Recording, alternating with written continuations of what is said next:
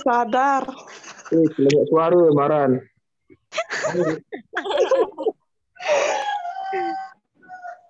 Kabarnya Pak.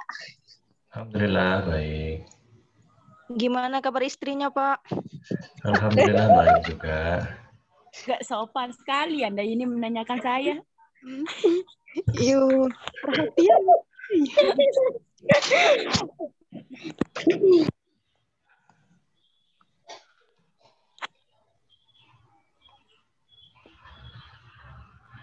Absensinya nanti Bapak panggil ya, nggak perlu ditulis di kolom chatnya. Pak Wen, enggak perlu we, absensi di chat. Pak.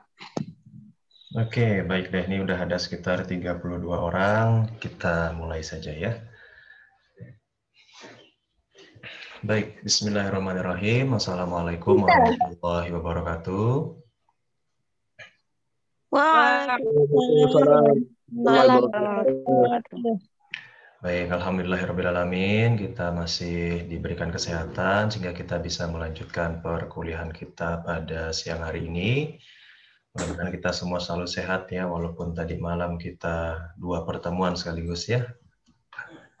Oke, baik. Eh, langsung saja Bapak masuk ke materinya. Sebentar ya. Hujan Pak di sini, nggak kedengeran. Oh ya, alhamdulillah hujan ya. Di sini juga mendung nih sebentar lagi hujan kayaknya. Baik, eh, di pertemuan kita yang siang hari ini, Bapak akan melanjutkan materinya tentang bentuk organisasi usaha. Ya, jadi kalau di pertemuan sebelumnya kita sudah membahas uh, beberapa di antaranya seperti alasan memulai usaha, ya, ada karena alasan keluarga, karena coba dan seterusnya. Kita juga sudah berbicara tentang uh, berbagai pertimbangan memilih bidang usaha, ya, seperti minat dan bakat dan modal, begitupun dengan waktu dan seterusnya. Termasuk kita juga sudah berbicara tentang bentuk hukum badan usaha ya, mulai dari perseorangan sampai dengan ada uh, perusahaan perseroan terbatas gitu ya. Nah di pertemuan ini Bapak akan membahas tentang manajemen organisasi, ya, khususnya terkait dengan struktur organisasi di uh, usaha atau perusahaan yang ada ya. Baik, uh, setiap perusahaan pasti memiliki tujuan ya. Uh, Rata-rata setiap perusahaan tujuannya tidak lain dan tidak bukan adalah mencari keuntungannya. Nah, alat untuk mencapai tujuan tersebut adalah dengan manajemen. Jadi bagaimana segala sesuatunya diatur, dimanage, keuangannya diatur, sumber daya manusianya dan seterusnya sehingga uh, perusahaan tersebut bisa mencapai tujuannya.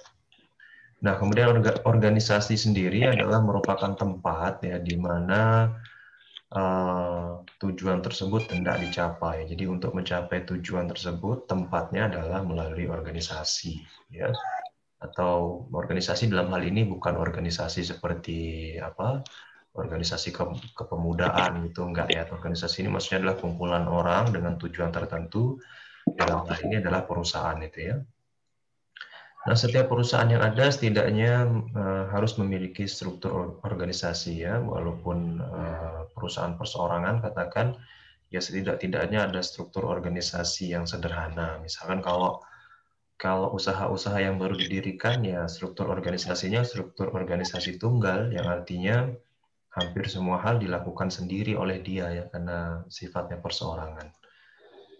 Oke, kemudian kita lanjut kepada fungsi manajemen. Ini me, me, mengingatkan kembali kepada kita tentang mata kuliah ilmu manajemen dulu ya di semester 1. Fungsi manajemen yang pertama ada planning, yaitu perencanaan, jadi menentukan arah tujuan yang akan dicapai oleh sebuah perusahaan, mau ke mana sih perusahaan tersebut ya. Kemudian organizing, pengelompokan ya, membuat struktur organisasinya, meliputi tugas untuk masing-masing, nanti ada pimpinan, ada manajernya, ada staff, dan seterusnya. Masing-masing tersebut memiliki tugas, wewenang, dan tanggung jawabnya tersendiri. ya. Kemudian ada actuating atau pelaksanaannya, melaksanakan suatu kegiatan. Kemudian terakhir nanti ada controllingnya atau pengawasannya ya, menilai apakah pelaksanaan yang dilakukan sudah sesuai dengan yang direncanakan di awal ya. Baik, selanjutnya adalah jenis dan bentuk organisasi itu, sendiri ya. Uh, kalau kita lihat berdasarkan jumlah pimpinan puncaknya, ya ada yang terdiri dari satu orang saja. Ini biasanya perusahaan perseorangan. Ada juga yang terdiri lebih dari satu orang. Jadi pimpinan puncaknya itu diduduki oleh beberapa orang atau biasa disebut dewan, dewan pimpinan gitu ya. Ini biasanya ada pada perusahaan CV atau PT atau dan seterusnya ya. Kalau berdasarkan hubungan wewenangnya, ada yang namanya lini, ada yang namanya staff, dan ada, yang namanya fungsional. Kita akan bahas satu persatu mulai dari lini atau biasa juga disebut garis ya. Jadi struktur organisasi itu ada tiga, ada lini, ada staff, kemudian ada fungsional. Yang pertama adalah lini ini atau garis ya. Ini biasanya uh, jumlah karyawannya itu sedikit biasanya ya. Kemudian struktur organisasinya sederhana karena tadi jumlah karyawannya sedikit, maka struktur organisasinya sederhana. Ini biasa dimiliki oleh perusahaan-perusahaan yang baru merintis ya, baru memulai sehingga jumlah karyawannya masih sedikit, begitupun dengan struktur organisasinya masih uh, sederhana ya. Dan biasanya uh, pucuk pimpinan itu adalah pemilik perusahaan itu sendiri ya. Jadi dia sebagai pimpinan juga dia sebagai ownernya ya kalau perusahaan-perusahaan besar biasanya sudah dipisah ya biasanya sudah dipisah owner itu biasanya sudah tidak lagi mengurusi perusahaan tapi sudah di luar dia tugasnya hanya mengawasi saja nanti dia akan uh, meng-hire seseorang untuk uh, mengerjakan kegiatan operasional perusahaannya gitu ya ada beberapa kelebihan daripada struktur organisasi lini atau garis ini. Yang pertama adanya kesatuan pimpinannya, karena pimpinannya merupakan pemilik perusahaan, jadi satu komando gitu ya. Koordinasinya relatif lebih mudah karena jumlah karyawannya masih sedikit, kemudian instruksi-instruksi yang disampaikan cepat sampai ya.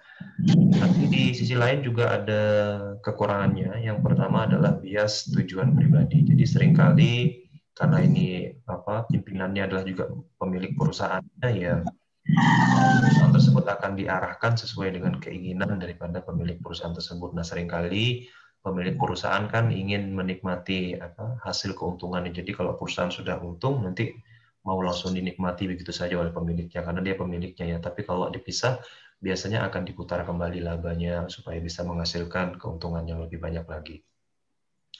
Kemudian kekurangannya biasanya otoriter ya, karena itu tadi pemilik perusahaannya sekaligus pimpinannya dia kemudian karyawannya tidak berkembang ya begitu-gitu saja karena belum ada yang namanya spesialisasi pekerjaan ya.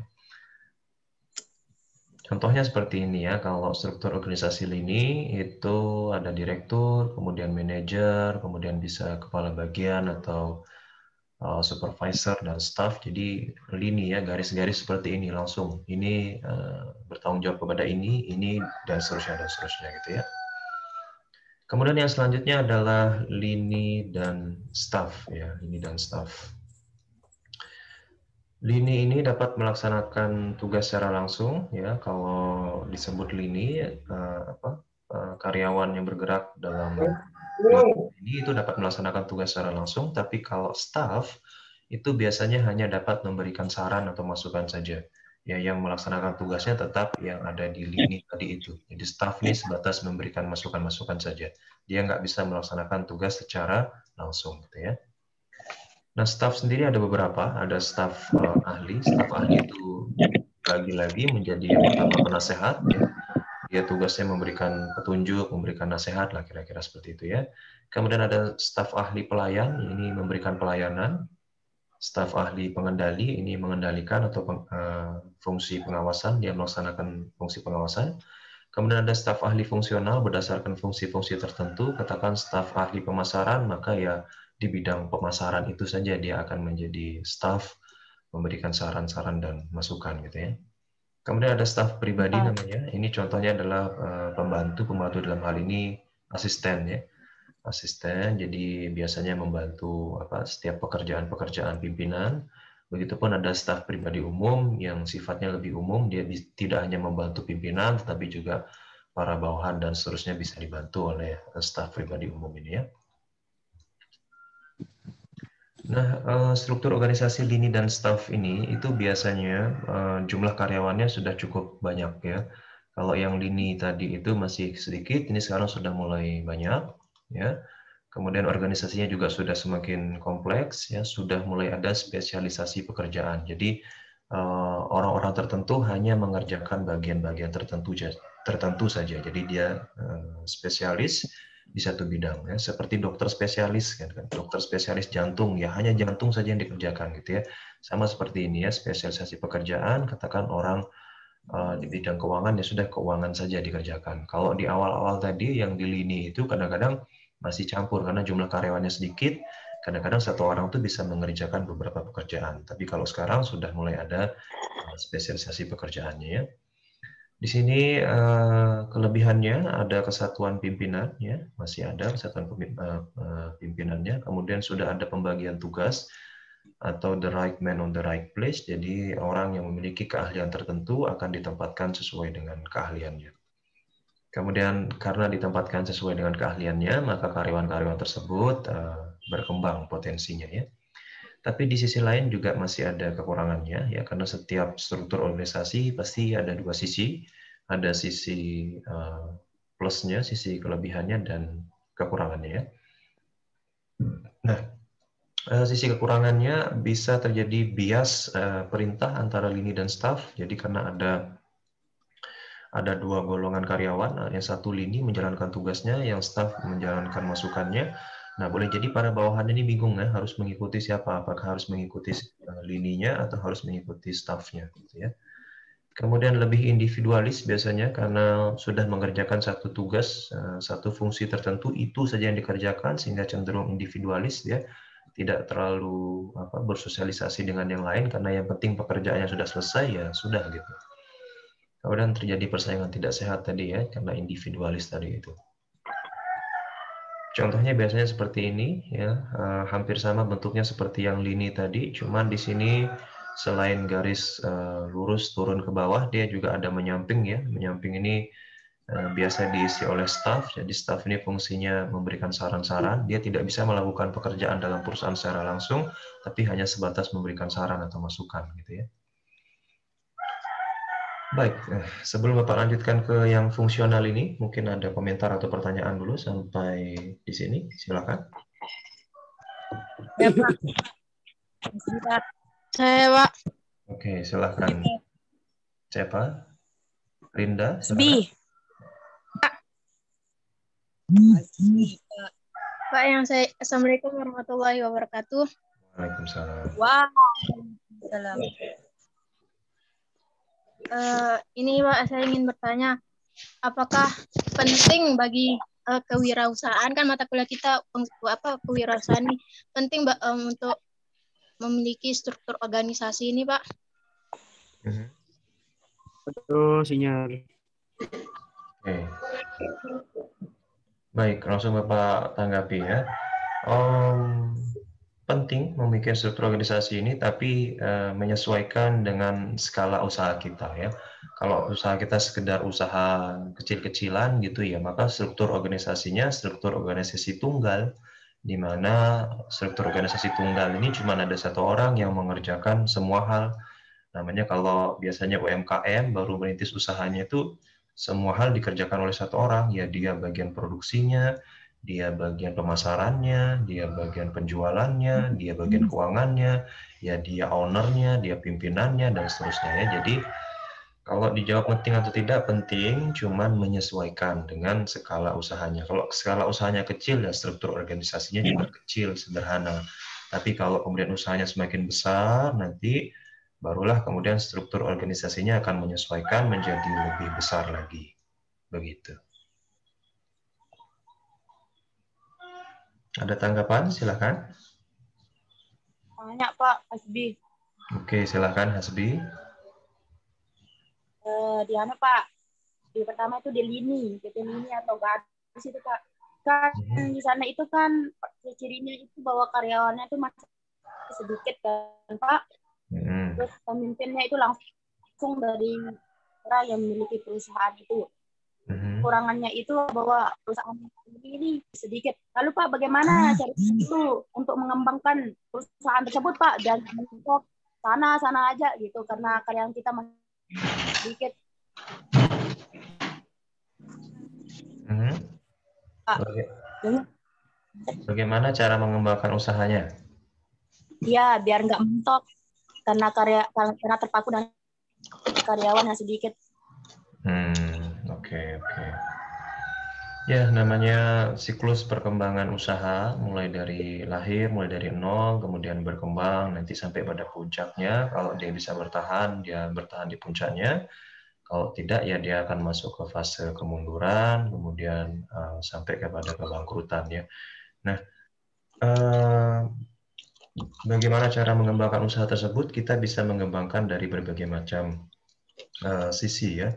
Yang pertama uh, kita bisa kembangkan dari sisi SDM-nya. Jadi kita memilih uh, SDM SDM yang memang berkualitas. Contoh kalau uh, terkait dengan bagian produksi ya kita memilih orang-orang yang memang ahli dalam bidang produksi tertentu. Kalau kita jualan makanan, ya memang dia bisa masak gitu ya, koki dan seterusnya. Itu kita tingkatkan. Dengan kita meningkatkan SDM tersebut, maka kualitas uh, apa barang produksi kita menjadi meningkat. Karena uh, kualitas barang kita meningkat, kita bisa jual lebih banyak yang pada akhirnya menambah uh, keuntungan perusahaan. Dan keuntungan perusahaan inilah yang akan digunakan untuk mengembangkan perusahaan itu Eh, menambah besar lokasi usahanya, menambah jumlah karyawan lagi, dan seterusnya ya. Jadi mengembangkan usaha itu bisa dari SDM-nya, atau yang paling sering dan paling gampang dilakukan adalah dengan menambah modal. Ya, dari sisi keuangannya, yang awalnya modalnya hanya beberapa, dia tambah modalnya bisa melalui pinjaman dan seterusnya, sehingga yang awalnya usahanya kecil, kemudian lama-lama bisa menjadi besar. Begitu ya. Mhm. Silakan ada komentar. Saya Pak. Oke, baik Olina silakan.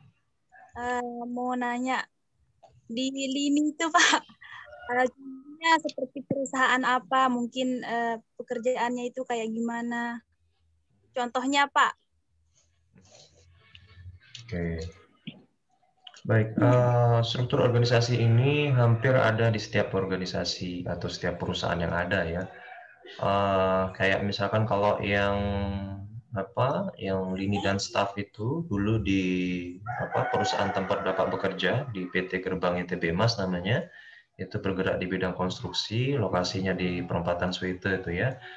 Itu dia menggunakan struktur organisasi uh, apa fungsional kalau dia lebih ke arah fungsional ini sebentar lagi bapak akan jelaskan fungsionalnya jadi kalau fungsional ini dia nanti berdasarkan apa fungsi-fungsi tertentu. Katakan bagian pemasaran yang khusus dia akan menangani bagian pemasaran bagian keuangan khusus menangani bagian keuangan. Nah kalau yang tadi yang lini itu biasanya perusahaan-perusahaan yang baru-baru berdiri ya. Perusahaan-perusahaan yang baru berdiri baru merintis seperti CV-CV yang ada. Kalau kalian pernah lihat CV yang bergerak di bidang kontraktor ya yang apa ngerjain proyek-proyek itu itu biasanya menggunakan lini.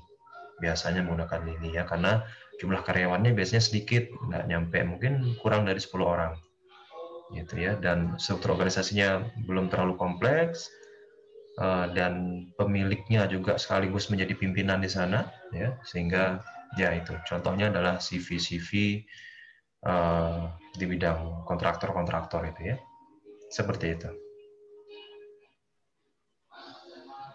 Mhm. Ada komentar silakan. Apakah kalau itu Pak apa kalau KPKP itu yang jual makan makanan itu juga menggunakan struktur organisasi seperti ini itu ya ini ini apa enggak? Hmm, kalau kafe eh, kebanyakan menggunakan lini karena biasanya kafe itu yang punya sekaligus juga menjadi pimpinan di sana. Ya dia bosnya ya dia juga yang akan uh, apa melaksanakan mengawasi anak buahnya dan segala macam dan selebihnya uh, apa anak buah karyawan-karyawan dia akan langsung uh, apa diarahkan oleh pimpinannya tadi itu. Ya dia nggak ada yang namanya staff-staff yang bakal memberikan masukan-masukan gitu. Itu biasanya kalau di kafe-kafe itu jarang. Ya kalau di perhotelan biasanya ada. Nanti ada satu orang khusus yang kayak dia ngasih masukan-masukan ya. kalau kamu bersihin kamar ini sebaiknya seperti ini ini dan seterusnya dan seterusnya gitu ya. Seperti itu.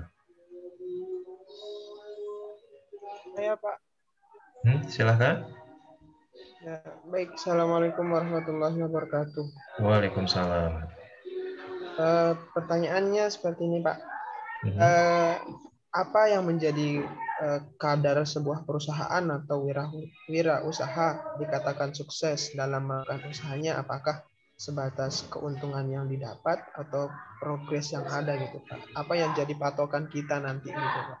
Mhm. Oke. Biar kita tahu bahwa oh ini apa yang saya lakukan ini sukses bisa berkembang nantinya gitu Pak. Sekian, terima kasih. Oke. Eh, salah satu indikator yang paling sering digunakan eh, oleh perusahaan untuk menilai ini perusahaan sukses atau gagal gitu ya, tidak lain tidak bukan adalah dari sisi finansialnya atau keuntungannya. Jadi keuntungan itu bahkan kalau kita di sebuah perusahaan ya, itu kan ada laporan keuangan, ada neraca, ada arus kas, ada laba rugi. Nah, di antara ketiga laporan itu yang paling penting dan paling sering dilihat adalah laba rugi itu. Kenapa? Karena dia menggambarkan keuntungan perusahaan perusahaan pada tahun itu untung atau rugi itu tergambar melalui laba rugi itu. Nah, ini menggambarkan bahwa di setiap perusahaan eh, indikator utama adalah dari sisi finansialnya, dari sisi keuangannya. Apakah di tahun tersebut perusahaan tersebut bisa menghasilkan keuntungan atau tidak? Itu satu. Yang kedua, apakah keuntungan tersebut cukup ya dibandingkan dengan banyak hal. Pertama dibandingkan dengan modalnya. Yang katakan keuntungannya dia untung tapi untungnya cuma sedikit sehingga belum bisa balik modal, belum bisa break even point. Maka belum bisa dikatakan sukses perusahaan itu karena belum bisa balik modal.